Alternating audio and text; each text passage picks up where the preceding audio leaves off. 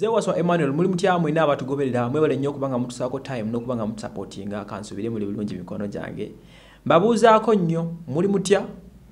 Musula mutya? Musiiba mutya?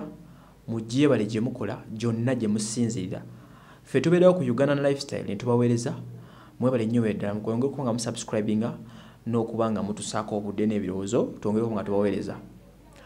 Sheikh umar jessica bitise i mean uh, sheikh umar okuva ku ngabo stage akusomera edduwa gendayo akusomera edduwa mu bizibu ebyenjawulo bye mulina osobole okuba nga otereera 0709 namba eyo gikubako ne bakuyamba ku nsonga za internship eh, okuli tv presentation ne video production.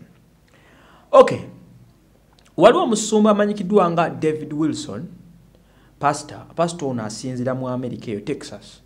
Ono obusumba uh, naye obusumba bwongedde okwononeka simanyi nsi gyeraga naye ono yakwatiddwa. Waliwo akatambi akasasanya ku social media kuno kwonna kwonna ne ku mikulu gimigatta bantu aka vidiyo ey'omukulu ono ng'ali mu kaboozi n'agambibwa okuba nga nti si mukyala we ow'omumaka mu bufunza ali mu bwenzi. Akatambi kano kasaasanye ensi yonna olumusti nga kageza okwoleka pasito ono nga ali mu kukwasaganya mukyala agambibwa okuba nga si mukyala we wamumaka ezimu ku ndiga ze. Pasito ono musajja mukukutivu nnyo okuva mu ministries emu ey'omu amerika eyo e texas. Pasito ono amaze emyaka 25 ng'asumba abalokole b'omu amerika e texas awo.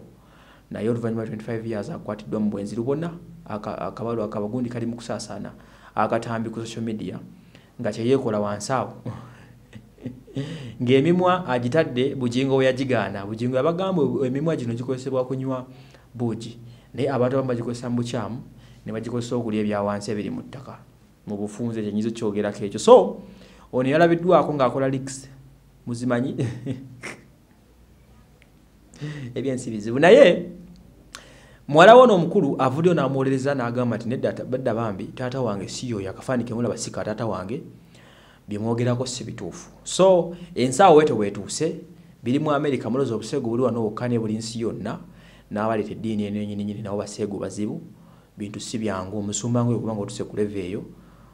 Katamini kasaasaana ng'oli mu kunuuna bintu by'abandi then uh, ensonga ziba zizongedde okuba nga zikaawa. So byebyo omukulu pastor wilson ono wilson david wa mu america yali ku nsonga ezo. Akatambi kasasanya buli wamu so kyasimanyi kyetunakolera busumba naye obusumba bulabika butandise okwononekera ddala obufeere bujjudde bungi nnyo n'obwononefu buyitiridde mu ddiini. Mwesabireko bannange gye musinzirira yonna